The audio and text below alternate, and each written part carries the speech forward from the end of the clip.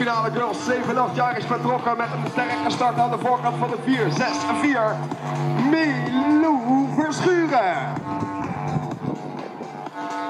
Mariangela Moesemici daarop plaats nummer 2 op de 3 is het Jelke van der Broek. Hanne van der Schoot op plaats nummer 4.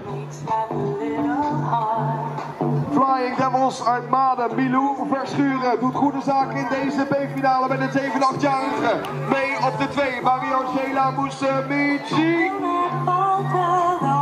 De winst in deze B-finale gaat naar Milou Verschuren.